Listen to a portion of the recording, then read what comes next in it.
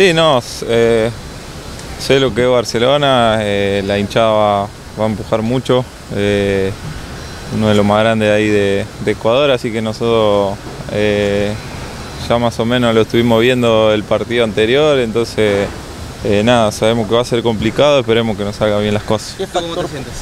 Yo bien, bien, de a poco agarrando confianza, así que contento de que está todo bien. ¿Qué factor puede ser determinante para sacar el partido adelante el día jueves? No, la concentración, los partidos de Copa no, no puede cometer errores porque eh, en la Copa siempre están los mejores, lo juegan eh, los mejores equipos, están to en todos los detalles, así que hay que estar muy concentrado y yo creo que va a pasar por ahí. ¿Qué, refer qué referencia tienen de, de, de, este equipo, Emma? ¿Qué, qué, qué referencia de Barcelona? No, ya lo dije recién que, que, es un equipo grande, que tiene grandes jugadores, así que eh, vamos a tener que estar bien atentos los 90 minutos para sacar un buen resultado y después venir acá a casa.